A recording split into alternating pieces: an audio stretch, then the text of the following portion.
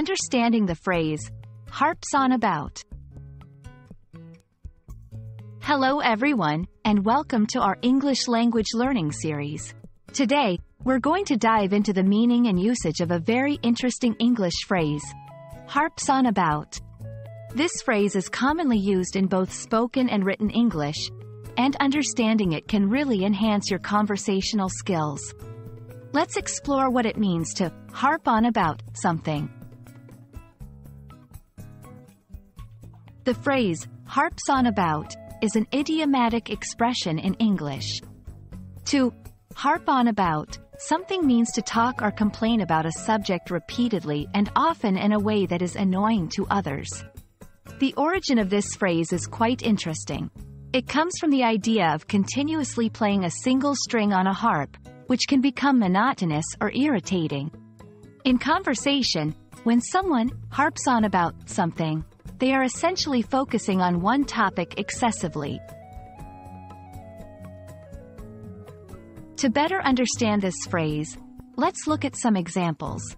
My boss always harps on about being punctual but never mentions the good work we do. During family dinners, my uncle can't stop harping on about politics.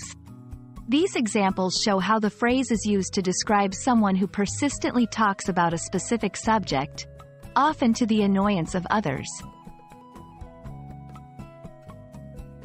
It's useful to know some synonyms or similar expressions. These include dwelling on, focusing on something for a long time, going on about, talking about something repeatedly, beating a dead horse, an American idiom with a similar meaning, though it implies that the topic is already settled or resolved.